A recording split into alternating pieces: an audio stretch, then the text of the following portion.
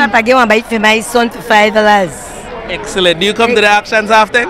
And today is my birthday. Oh, happy birthday, happy birthday. Thank you. So you don't get a bike your eye, but you get something. Something better and nothing. Thank God for us. No, no, this is my first time actually. First experience. Sun hat. Um, well, I get my cycle. I never get more bicycle cause people they out there like dog eat supper right now. But this good. So everybody could continue go thief, make the police catch us so we could get another action sale next year. One thing. Well, the, the mechanic don't tell me I got a good deal, so he yeah, fix it up and let me know it costs about hundred dollars to fix it up. So I see what I do when I done. So with the band. Anybody made a try out bid for the bike? My he made that 300 and I bid for 300 and somebody got up more. So I had to take it for 350.